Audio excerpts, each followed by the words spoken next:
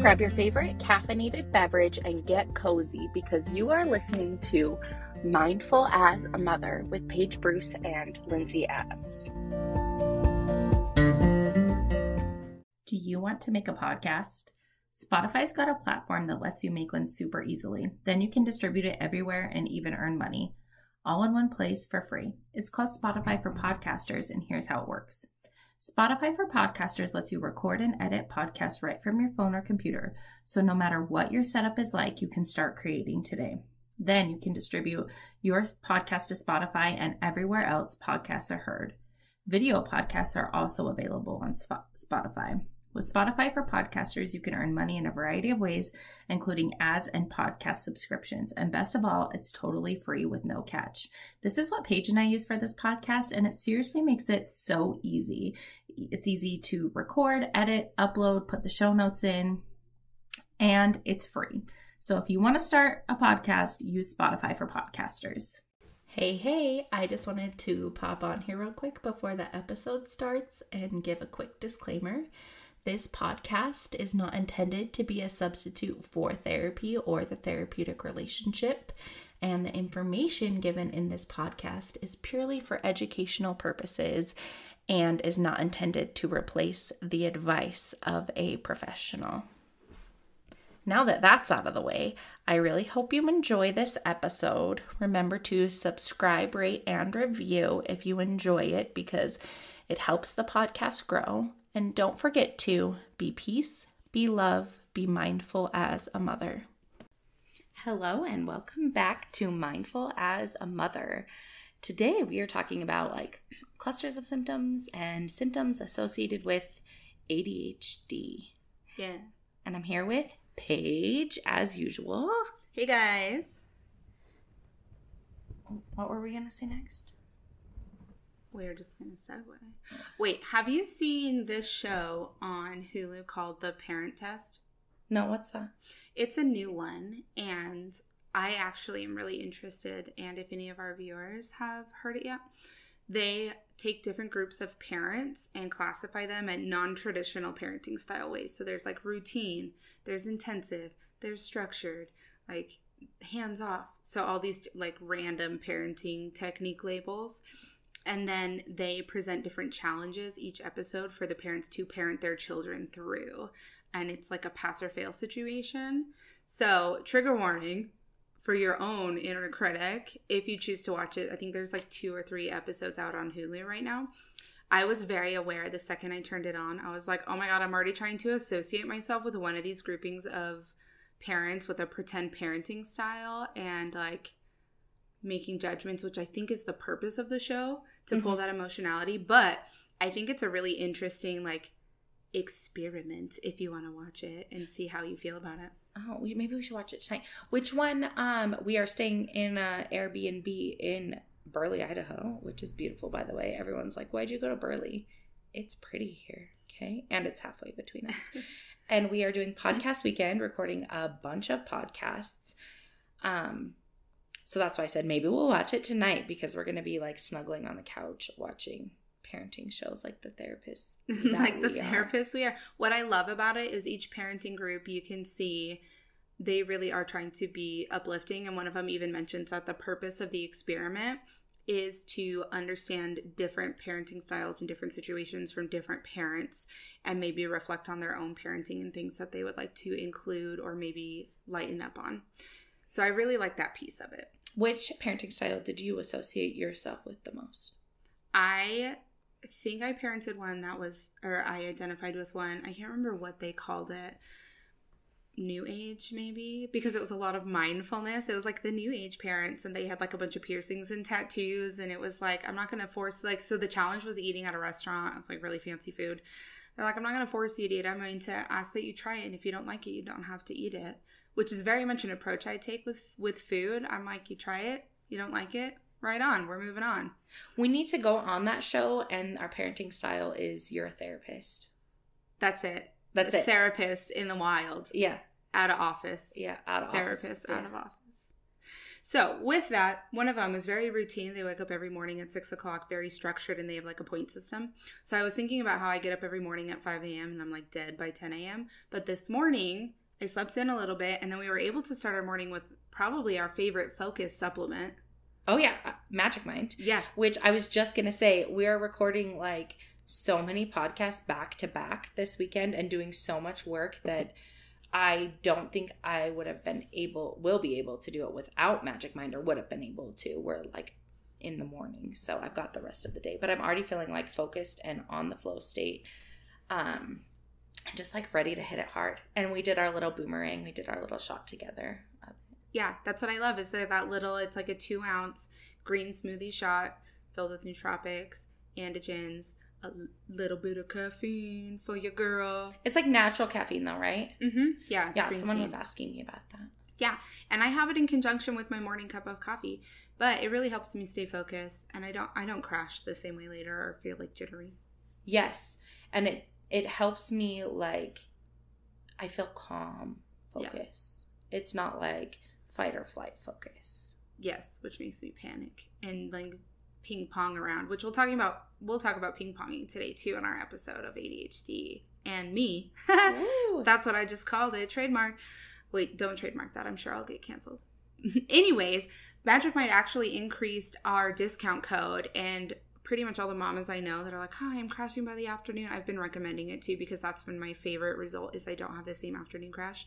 But now you get 56% off, and so if you go to www.magicmind.co forward slash motherhood and use our code motherhood M O T H E R H O O D, you get 56% off of this supplement, which is pretty incredible. that is incredible. Yeah. And I mean, I think you notice how you feel the first day, but if you take it consistently, like it's amazing Mm-hmm. how focused and productive and in in the flow state you feel. Yeah. At least I think they recommend at least 15 days, which I totally support because I've taken it for 15 or more in a row and it's just been incredible.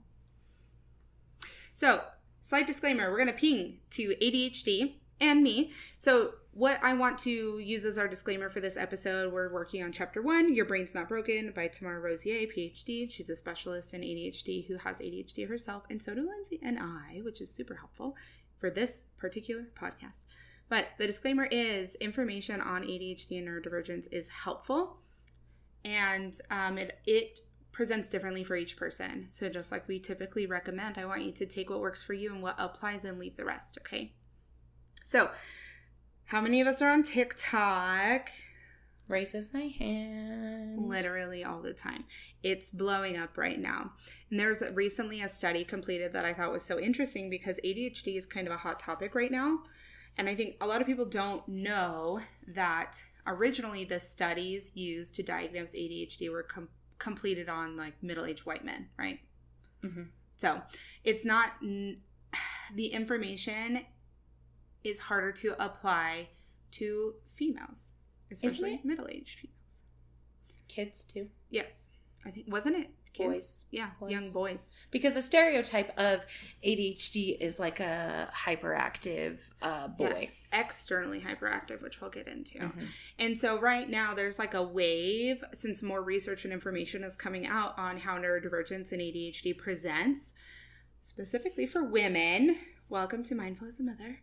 Um, Yes. there has been a wave of like recently um like not I'm not going to say middle age because I don't think you're middle aged till you're like 50 personally. I know Tim always personal says we're middle aged, and I'm like, I feel like I'm quarter aged. Like I'm a baby. Like, I'm a until I'm, like, I'm a third could- age. Yeah, I'm a third age. So, anyways, us of the uh, millennial generation, can we say that? Elder millennials. I think I think I'm an elder millennial. uh, are are being diagnosed late in life, right? And so now we're starting to understand how it's impacting us, coming up with the brain hacks and the workarounds. But the study that came out was 55% of TikToks about ADHD were classified as either misleading or false information. Oh, Isn't that wild? that is wild. So I was like, y'all need to be checking your sources.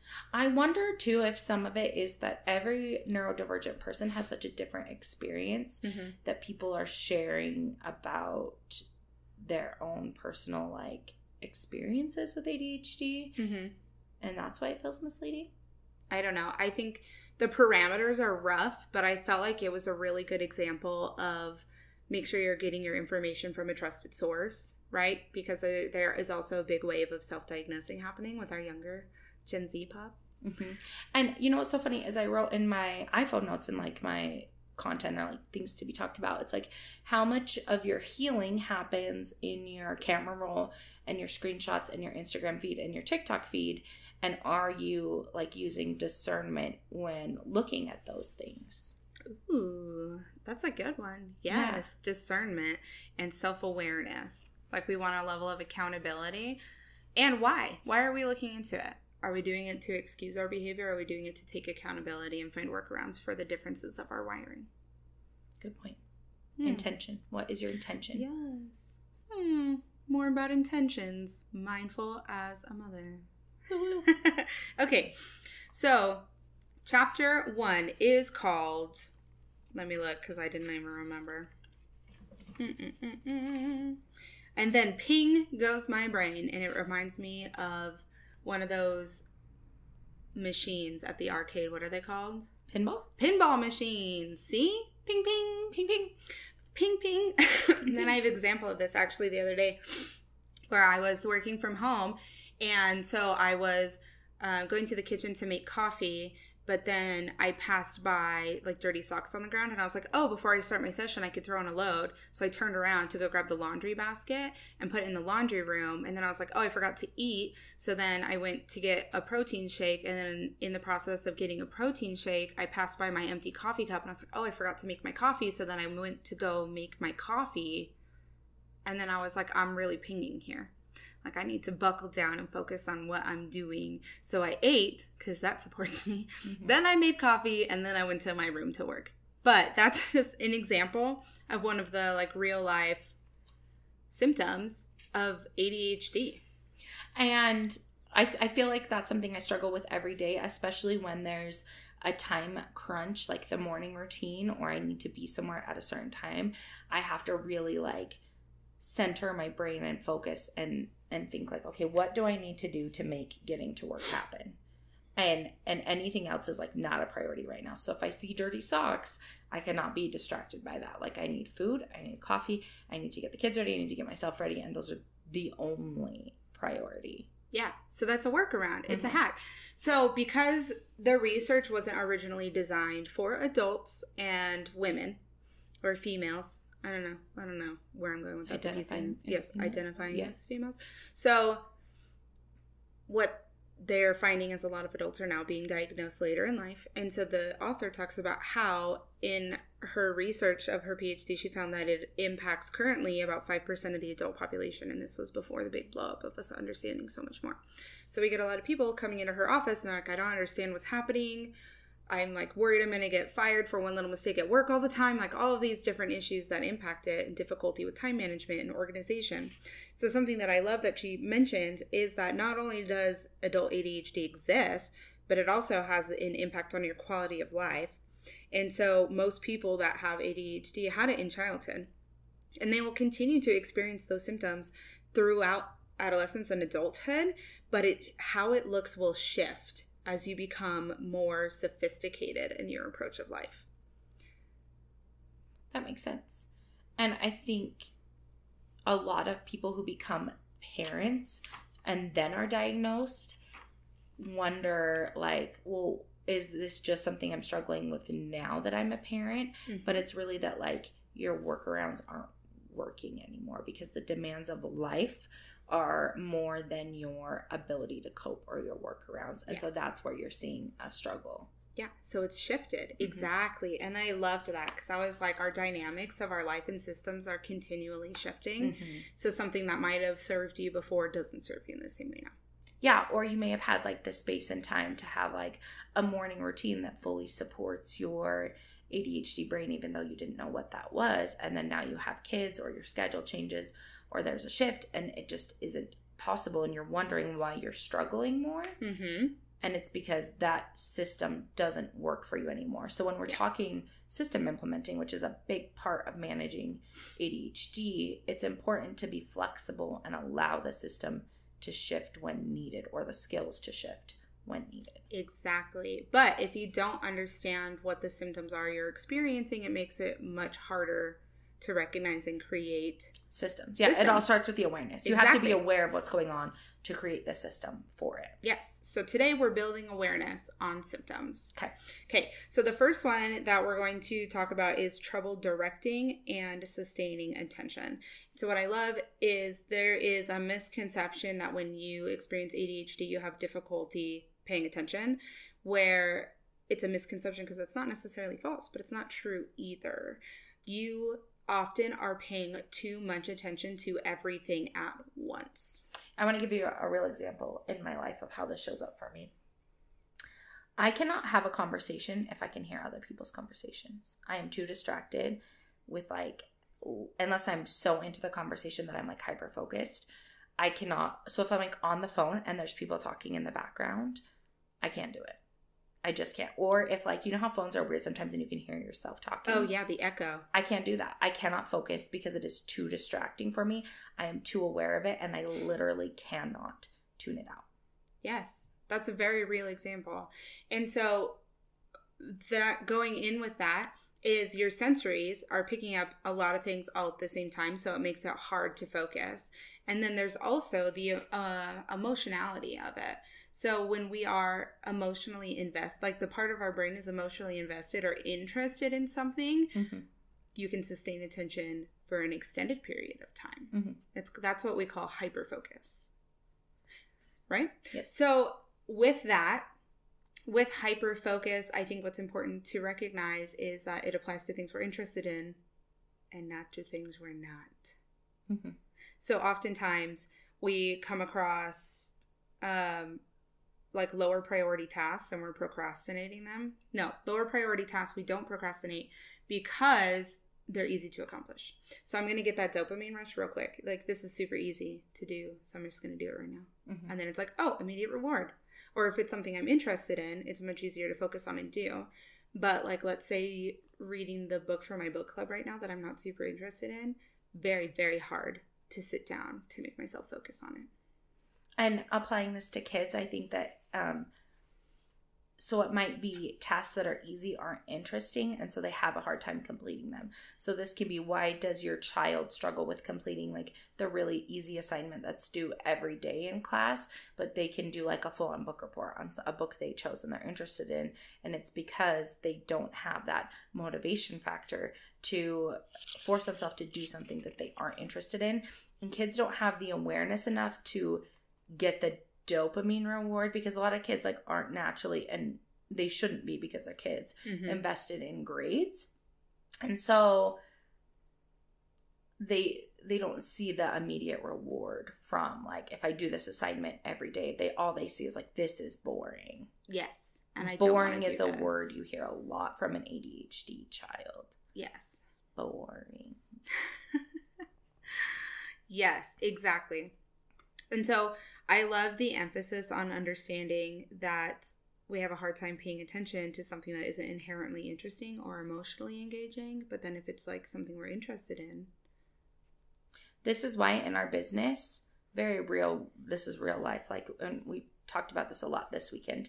Um, like, I don't do the organizing. I am not the one who organizes like the podcast episodes when they come out, the scheduling. I don't do emails to arrange the guests. Like, Paige does all of that because I literally cannot make my brain be interested in that. I just cannot. Yeah, it feels very very hard and I I really enjoy it. That's something for me, but I'm not I don't really enjoy marketing. But I love the marketing piece. Yeah. So like that's me. And so that's why our partnership works so well. Yes. But also it's a very ADHD thing and it's an example of ways that like our brains are naturally interested in different things because we both have that, but we mesh well together in that way. Yeah. So here's something that I hear often and that I wanted to bring up on this specific episode of the podcast because oftentimes they'll be like, "Oh, well, you know, it needs to be an area of interest or or engaging." Okay? And so then it's like, "Oh, well, my kid just doesn't care enough then." No, it's not that they don't care enough. It's that kids are naturally intrinsically motivated. And so if it's not intrinsically rewarding, they're not going to do it and they don't have the skills to make themselves care about it. So like we have the skills mm-hmm. to say like I know that I need to respond to this email or like there will be a consequence because I'm a grown ass adult, right? Yes. You know what I mean? but like they don't have that yet. And so we have to help them. And this is where rewards come in. And um, it frustrates me that in the gentle parenting, and I hate that term, but I'm going to use it because like people understand what I mean when I say that community they kind of like harp on rewards a little bit or like using rewards based or behavioral interventions i think they have a time and place what mm-hmm. i don't like is a ton of negative consequences and those things mm-hmm. but i think for a child with an adhd brain you have to teach them how to structure their life so that there are those natural rewards yes. so like for us we talked about like the novelty of like a cup of coffee that we really like, and that's naturally a reward. I bought myself a real cute notebook this morning so I could do an exercise in planning that isn't naturally like for my brain. Yeah. That's the reward, right? And so we have to teach our kids how to have that. And that can look very different. And we'll get into the systems later in the season. But knowing that it's not that your kid doesn't care, it's just that they don't have the skills to create the workarounds. And our job as a parent is to create those. Yes, I think you make an excellent point. And so, something actually that came across our Facebook group recently was a specific reward system that I really appreciated and could help start to lay a foundation of like easy rewards, right, to motivate behavior mm-hmm. for kiddos with ADHD. So, if, and all kiddos. So, something just a blanket statement is all children's brain development is just not at the level of adults, right? Mm-hmm. It sounds like obvious when I say it out loud, but sometimes we just need a reminder. Kids are not many adults. Yes, they are children and their brain needs to grow. And so this system could work for even if you are neurotypical or your child is neurotypical. So what it was, it was like smiley faces and frowny faces. And it was a very simple system. And then there was a ratio for the reward, and you adjust the ratio of smileys to frownies depending on age. So it was like the example given was two siblings bickering.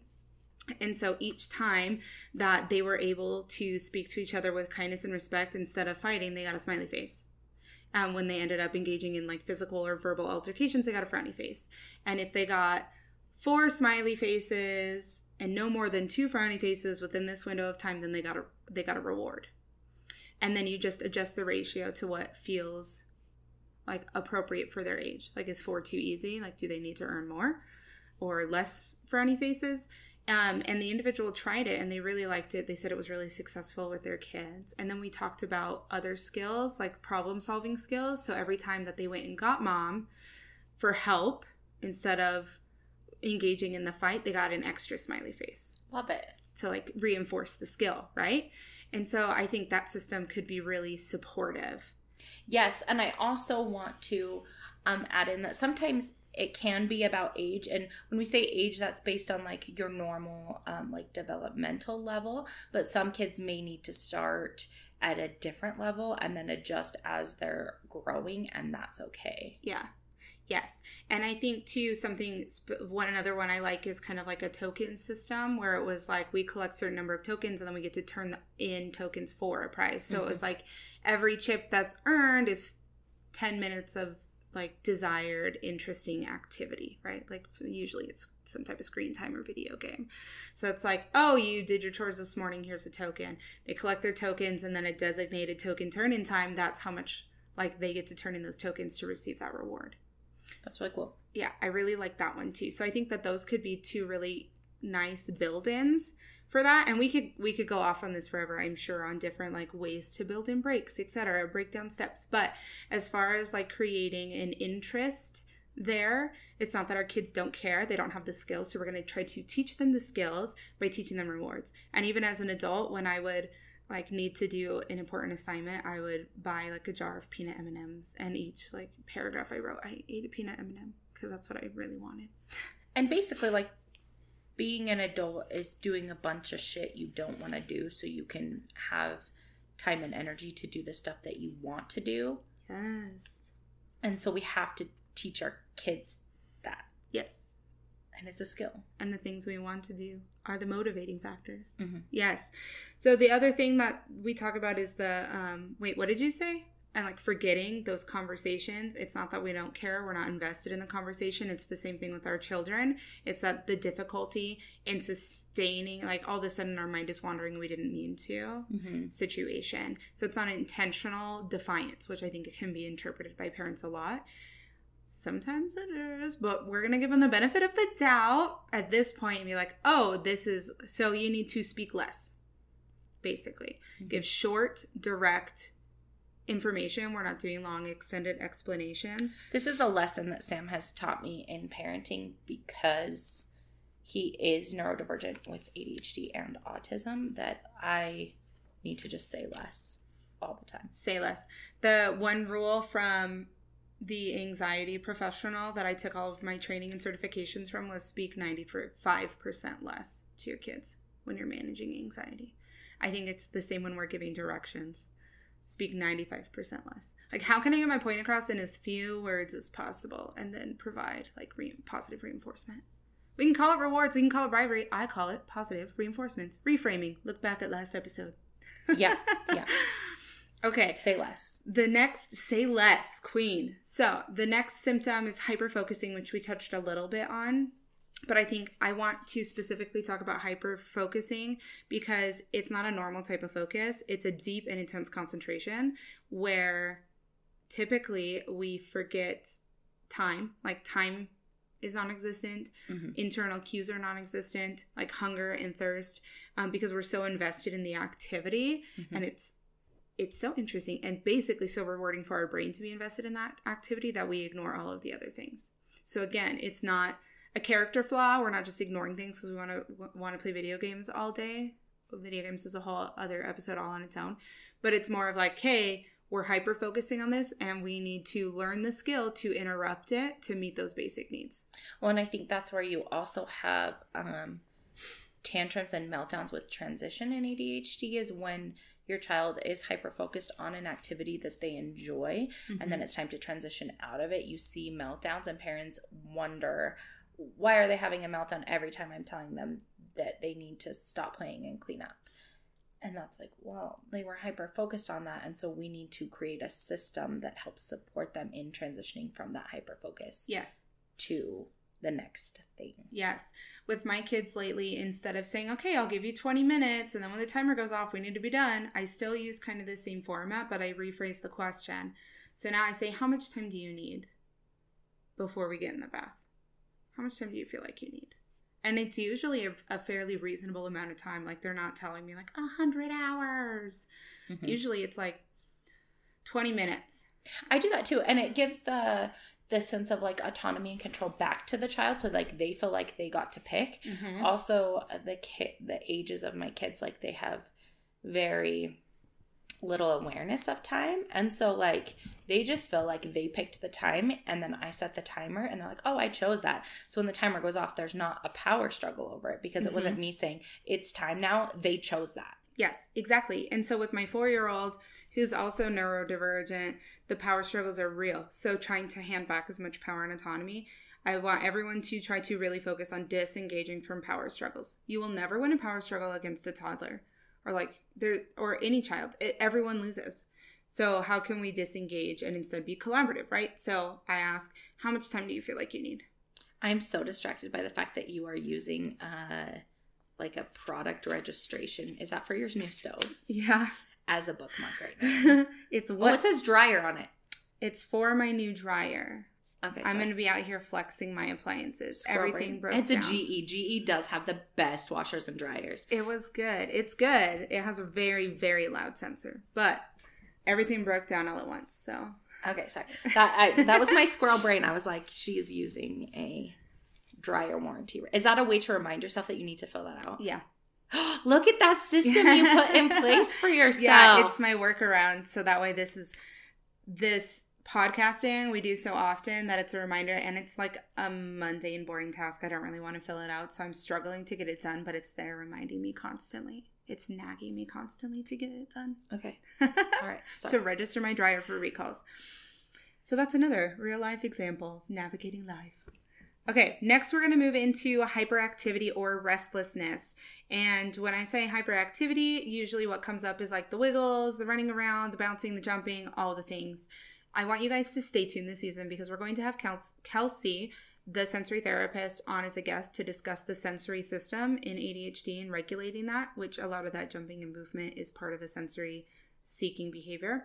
But aside from that, there are ways that hyperactivity and restlessness show up for children and adults that aren't like the stereotypical ways.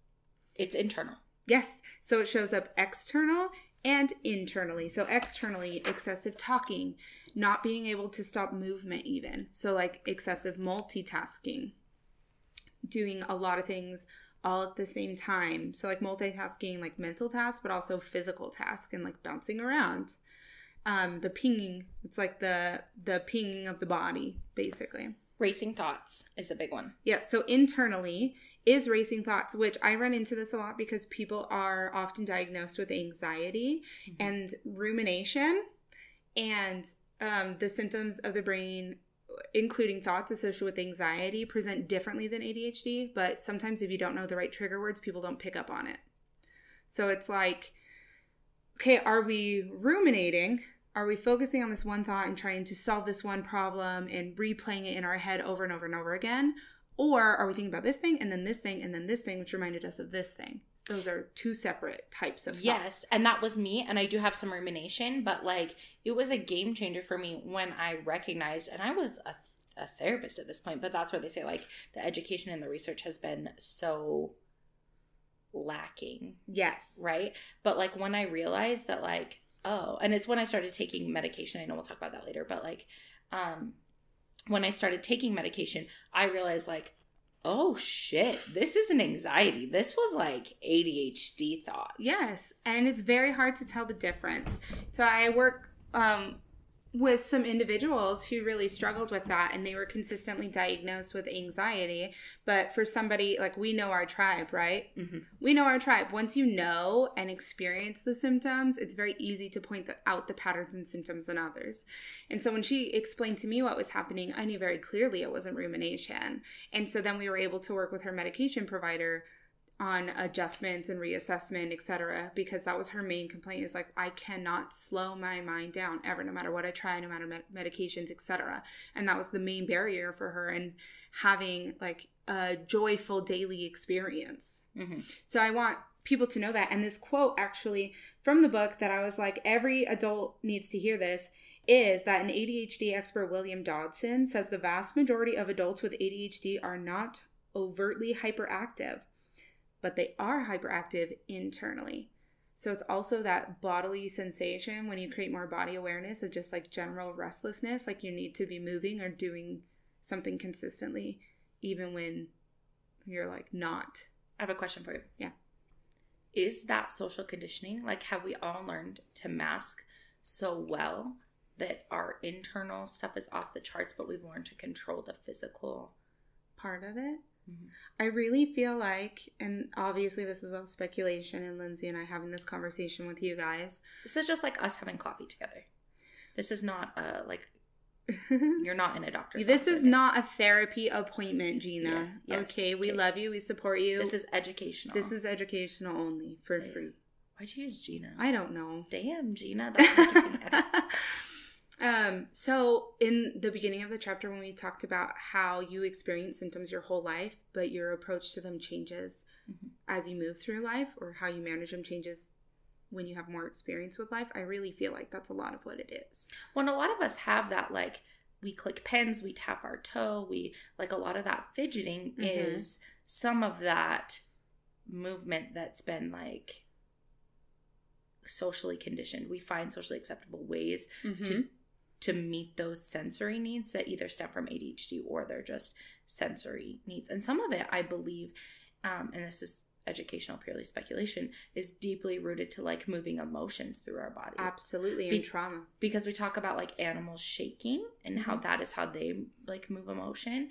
And I deeply believe that we've been like conditioned to not move our bodies and move emotion through us like yeah. we would. Especially when you move into adulthood. Play is so underrated as an adult. And like, dance and un and free movement. Yeah, absolutely. Well, and there's a lot of science on emotions existing as a type of energy, right? Mhm. So, whatever emotion you're experiencing, the hormonal cocktail inside of your body exists as a type of energy that needs to be moved through your body. And when we talk about like hacks or tips or systems, um, and we talked about emotional intensity as one of the things. Was that the last episode? They're all blurring Yeah. together at this point. Yeah. Okay, but anyway, um, like a, tip I have for that is to move. If you are neurodivergent or your child is neurodivergent, move the emotion through your body. Yeah. You're experiencing an intense emotion, go on a walk, get up and pace around. Um, I was stuck earlier, even creati- creatively. I was going to say create, okay, whatever. Creatively, and I and we're in this Airbnb and there's room and I told Paige I'm like I'm not going to write this down. I'm going to get up and walk around and talk it out. And it like came out beautifully Mhm. because I allowed my body to do that. But if I had like not been in a safe space to do that or if my social conditioning had taken over I would have just been stunted and then be like why can't I think? Why can't I plan for the future? Why can't I express my vision? Right? And I would have been stuck in that Yeah. mental trap. So giving your body and yourself the permission to like get up and move or do what feels good or um, but also rest too. That's the other part but Yeah, the permission to rest. And we can move into it. And so, one way that this builds into parenting with the type of restlessness, like hyperactivity, usually because children are babies. So, they haven't had as much social conditioning or brain development to mask the same way necessarily as we do as adults, right? So, hyperactivity displays in children more often than adults, externally, externally than adults. Mhm. Um, that we can like pick up on. The author talks about wearing bracelets she can fidget with, or pens, or things like specifically built into her day that she can fidget with that are socially appropriate. They have those rings too that like spin. Yeah, the spinny rings. I really enjoy a poppet. Not all poppets are created equal. What is this thing called on uh where's my phone? Um the back of my phone is I don't have a pop socket, but those are fun. I have like a ring that I fidget with a lot on the back of my phone. Yeah, and I have a pop socket. So something um, that we do that I build into with my children, especially when we're having frustrations with homework, is uh, brain breaks. Mhm. And it's not like it doesn't have to be anything big and extensive, but she completes a, a frustrating piece of her homework, and no matter what amount of time that took, and I support her. And like right now, it's the hoverboard, so she gets on the hoverboard and like uses her elbows and is like, "I'm a snake," and like rides it around the house. I love this. I need to see a video of this. so I'm like, yeah, you could take a little break. And so she'll just, I'm a snake in the different parts of the house. And then she brings herself back, focuses, does another chunk, and keeps going. Like we just build in the ability for that movement to release those emotions that we don't necessarily have the opportunity to um, get out while we're sitting and focusing. And this leads into like a much bigger conversation about how our school system is fucked. Mhm, and mhm. um, how we are not struck we are structured in a way that does not support where our kids are at developmentally whether they're neurodivergent or not um, but especially if they are neurodivergent and as a parent the best you can do is advocate for your child and then create those things and teach those things at home Yes. So throughout the season, we will be talking about how to advocate and we will be having interviews on education advocates, which is actually like a side profession of people you hire to help support you through that system with the school district to get the accommodations you feel like are going to be most successful for your child. Um, and how to build in some of that stuff at home also and accessible resources.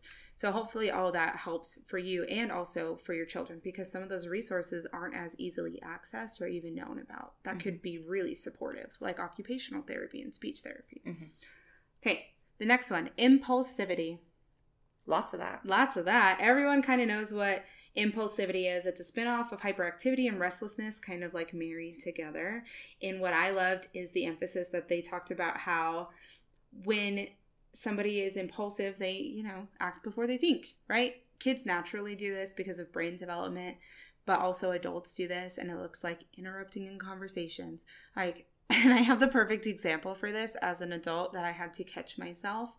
And it was um, somebody that knows our family gave our children Christmas gifts, which was a very kind thing to do. And we're not particularly religious, but they got them each like an age appropriate Bible devotional book. And I was looking through the one for my eight year old, and it just is like shirtless men because it's an illustrated children's devotional. And so I, I Is it white shirtless men? white shirtless men. I always I always gotta ask if it's like white it's, Jesus. It's white Jesus and white shirtless men and angels. And I was like, there's a naked man on this page. And then I turned another one. I was like, why is this book filled with naked men? Really loud. So that was what, like, impulsively, I was just like reflecting. And I caught myself where I was like, why is this? And then I stopped because my brain caught up to what it was saying, like Love the it. impulsivity, because I knew that the the person that provided the gift wouldn't it's it wasn't socially acceptable. Like they would have been terribly offended, which wasn't my intention. But uh, like, why are there so many shirtless men in this children's illustrated book? Like, I'm kind of not okay with with my eight year old having a book of shirtless men. and at least make them like Historically accurate? Yeah. Yeah. Like if you're gonna put That's a whole other podcast. Go check out our other podcast, historically accurate representations of Jesus. Um, but that was like a, a real life adult impulsivity move. And I often interject in conversations or I go on side tangents. But which it- is why I'm talking about your dryer warranty. right Yes, now, instead of the, impulsivity. So when you have impulse problems, staying patient can be really challenging, and that's for adults. So think of it as kids who don't even have the skills to be patient yet because the brain hasn't developed enough. And then additionally, so like those those marshmallow challenges crack me up. I'm like, eat the marshmallows. Just And- eat it all. this is where too you see adult behaviors like um, kids do some of the food ones too, but binge eating, impulse spending, Mhm. uh, budgeting can be really difficult. Um, I'm trying to think of other things that are like uh, buying all the things that have to do with your current hyperfixation. Yeah, the hobby. Yeah. It's really hard to not just go balls to the wall and buy all the things. Yeah. Yeah. Yeah, for like to be a scrapbooker when I like secretly like I'm not going to scrapbook I'm for not more than a day because Mhm. I have ADHD and my interests change very quickly. Yes, exactly. So those that's impulsivity. I really like that it talks about for better or worse, we dive into headlong we dive headlong into situations and find ourselves in potentially precarious circumstances. Which I just like potentially precarious circumstances because I'm like shenanigans. I'm Mhm. always on a shenanigan. Mhm. You are the definition of a shenanigan. I'm a shenanigan. I'm all, I'm like, let's go. Get in the car. We're leaving. It's shenanigan time. Yeah. Yeah. Was fostering a dog a shenanigan? It was a shenanigan. I became impulsively. I put myself on the emergency foster list at our local shelter, and now there's a puppy at my house. I mean, it's a very cute puppy. It's very cute. So and it's a partially a Great Dane, which, if you know me in IRL in real life, I love a Great Dane. Mhm. We are on our second Great Dane because they don't have very long lifespans, and it makes me really sad. But oh, I love a Great Dane. yeah. So in December, I came across a post with a bunch of puppies, and every once in a while, I just want a puppy. And so I messaged them and I was like, Do you guys need fosters? And they were like, Yeah, actually. And usually the process is really complicated. So it's like a natural barrier to, to the impulsivity, right? It was not a very complicated process. They just took my name and they're like, We'll call you. Literally called me right then. We um every dog we have ever brought into our home has been, with the exception of one, has been like an impulse situation of mine. Yeah. Like I show up at our house with a dog and Tim is like, What the fuck, Yes. Lindsey? Another one, like Yes. Literally shenanigans all day. And my husband is so supportive of my shenanigans. I appreciate him. But then they, the shelter was like, oh, well, we partnered with this other shelter. So you'll need to call them and see if they still need fosters. And I did. And they're like, we don't need any right now. So it's like, oh, you know, impulse averted, right? There's the natural barriers. Typically, I act on impulses of a nat- and there's a natural barrier there. Or my husband tells me no, which is helpful. Um, but then they I just me. don't talk to my So That's my way of no. I'm just kidding. Just kid- I mean, I've gotten better. To uh, like it's taking me 11 years of marriage to like get better. finally say something. Yeah. Sometimes I won't tell him. That's how we got the cat. He just It's like if I there's know- a cat there. Tim does not like cat. Like I would. That is like the D word, like divorce material. If I brought a cat home, Oh no, see, cats are not the jam for him. It's it happens all the time. But then they called me on Friday and were like, "Actually, we need an emergency foster. Can you come?" And I went, Obviously, and we- I was there with him. no one says no to a puppy. And I was like, "The world, the universe decided for me." But this is such a great workaround. I want to talk about this. So we're like we're teasing you about your puppy shenanigans, but like, how cool is that that you can like foster a puppy that then gets adopted out to someone else Yes. permanently. So when that wears off, or when you decide, mm, I've had about enough of this, you're not The puppy's adopted. tied to this Yeah, dog. to a loving home. Yeah, And I gave it yeah. love and basic training. This is why I was like, this is good for me. Yeah, and so uh, some of ADHD is finding out how to hack your life, which Yes. is why we're doing this. I'm like, I can't actively keep all, of the, puppies. and you constantly have a puppy because the Yes. puppy phase is the cutest. It's like constantly having a newborn, yes. but with more sleep, hopefully. I don't know. All right, and so we are on to our, last symptom that we'll be discussing for this episode, and it's difficulty managing emotions, which we really touched on um, last episode. I keep saying episode, and I'm like, am I saying the right word? You are? Yeah. yeah yes, right episode. So, um, a lot of the times it's difficult for individuals that are neurodivergent to manage their emotions because they feel with great intensity and are very sensitive. So, will you just do a quick recap of rejection sensitivity dysphoria? Yeah, so with rejection sensitivity dysphoria, you take criticism, rejection, even the slightest thing is like you made a spelling error here, or um, like someone breaking up with you, even though you've dated like a week, as like physical pain. Your body perceives it as physical pain. And so that's why um, you see really large emotional reactions to things that are small in proportion. This goes back to like big bucket, little bucket. I like that even for adults. But also remembering that this is your superpower and that you feel um, gratitude, joy, um, excitement just as deeply as you feel like pain and disappointment and rejection. And fast up, fast down. So if you go up really fast and you like don't resist and you like move it, typically you can move through emotions more quickly. Now I know someone's going to comment probably on TikTok and say that like, well, my kids tantrums last for 45 minutes. So pass fast up, fast down doesn't apply. And I'm going to challenge you and say somewhere in there you're trying to like resist the emotion on some level Mm-hmm. and also like it, fast is subjective.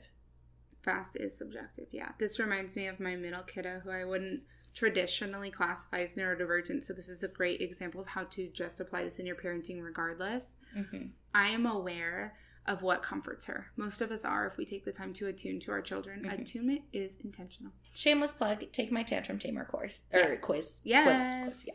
Oh, the link in our TikTok, Mindful as a Mother Follow. Yeah. So, w- what she does is she has this really high pitched like wail because she feels really intensely. And so she'll have this really high pitched wail. Most adults are like, I can't handle this noise, ah," right? But what comforts her is that that connection, Mhm. the physical connection and a hug Mhm. um, to comfort her, and then it comes down much quicker. So I actually had this question from somebody yesterday, last night, and they were like, "How can I, like, how do I, how do I help her work her through this because I just can't handle it?" And I was like, as as off-putting as the behaviors are, if you bring her in for that physical affirmation and like that comforting touch, the emotion will subside much quicker Mhm. than if you resist. Mhm. And that's just tr- in general true for yourself, Mhm. right? Like, what do you need in that moment? Meeting that need. That's what we mean by allowing it. And body attunement. Like, And what do I need right now? Yes. And also for your children, like, what do they need? And by consistently being able to attune to them and help them provide it for themselves, or like one of my kids needs space. And so now she has learned after we've talked about it several times and I've supported her in it to ask for that space and then she'll come back. But the the sooner that you can meet the need, the quicker the regulation occurs. Agreed. Okay. So finally, when should I seek a diagnosis? What about medication? So what I want you guys to know is this this is general information about ADHD, how it presents for us, how it presents in people that we've met, and if it resonates with you, um, and you're like, maybe I should seek a diagnosis. I want you to ask yourself, is this impacting my daily functioning in a negative way? Is this making it hard? Are the things that I'm recognizing and resonating with making it hard for me to feel successful in my social life, my personal life, my marriage, in parenting? If that is yes, or even in your job. If that is a yes, it could be beneficial for you to seek a diagnosis to feel some relief and validation and to learn some skills or workarounds or hack your brain, right? Um, if it's a no and this information is just helpful, there really isn't a purpose in seeking a diagnosis. Mhm.